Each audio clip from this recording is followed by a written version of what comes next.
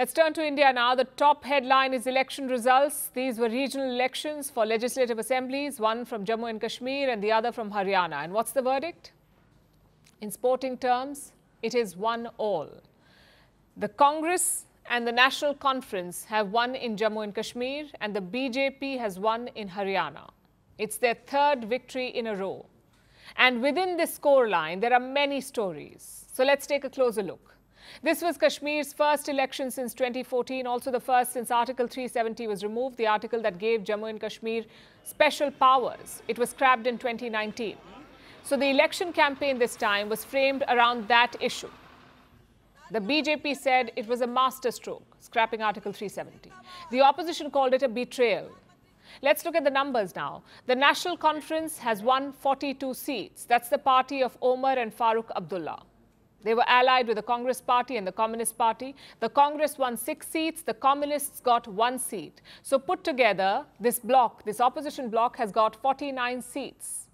Now to put that in context, the Jammu and Kashmir Assembly has 90 seats. The majority mark is 46. They've got 49. It should be smooth sailing for the NC and the Congress. Omar Abdullah is expected to be chief minister again. And what about the BJP? Well, they have won 29 seats, all of them in the Jammu region. But we'll come to that later. You see, this victory is, is a very consequential one. Just look at the NC manifesto. They have promised to work towards the restoration of Article 370, basically to restore special powers to the state. They also want to modify or cancel laws that were passed after 2019. Of course, 370 is the centre's domain. The state government plays no role or no part in it. But it does set the stage for an interesting period ahead, possibly one of friction. Nonetheless, let's look at the big takeaways. First of all, democracy has returned. We did not see any violence during this election. No one's complaining about the results. And that's what ultimately matters. Peaceful and fair elections. That's a big, big win. Secondly, the hardline elements have flopped. Dozens of separatists have joined the poll fray as independents, including allies of separatist leader Engineer Rashid. He's in jail for a terror financing case. But he was granted bail to campaign.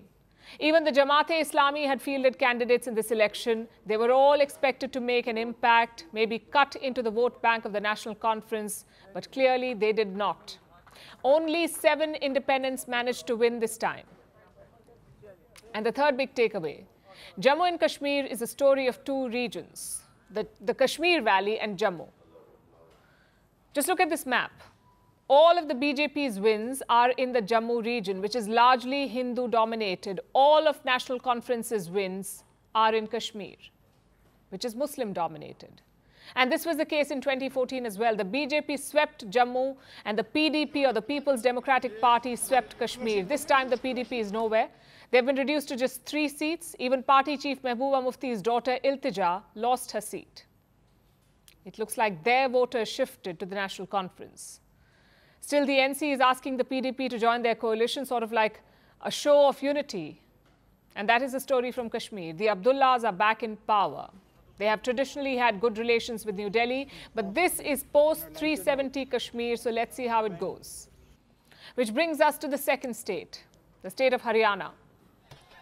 The day began with celebrations at the Congress headquarters. Early trends gave them 60 out of 90 seats. It looked like the Congress may oust the BJP in Haryana, that too after 10 years in power, 10 years of the BJP rule.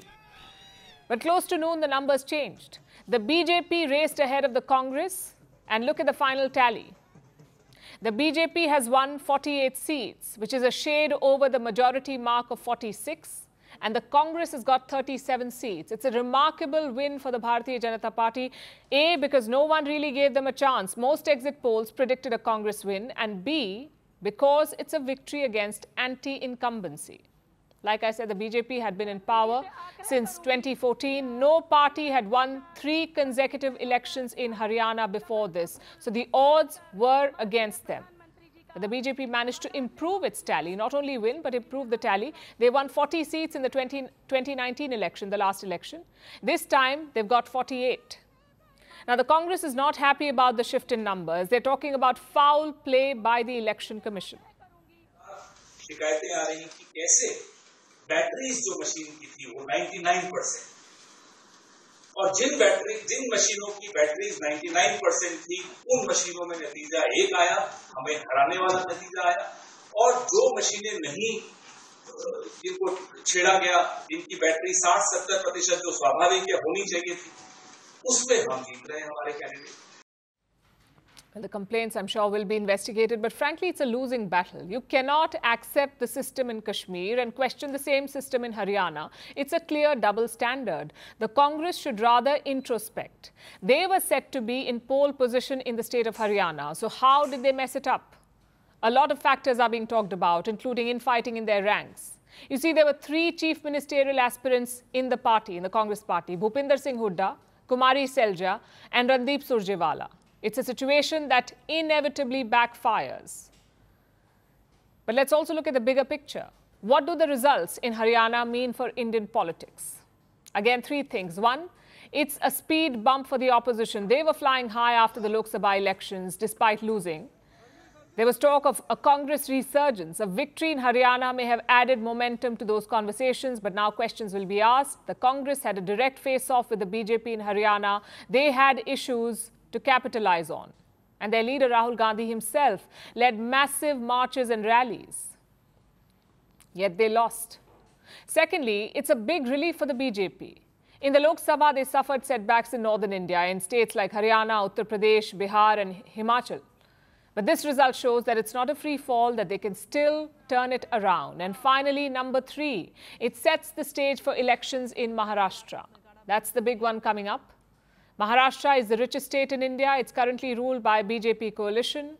Let's see how that one unfolds. First Post decodes the U.S. election, explains how America chooses its president. Your primer on the race to the White House. Everything you need to know about how America votes and its global implications. U.S. Election Explained. Every Monday and Thursday only on First Post.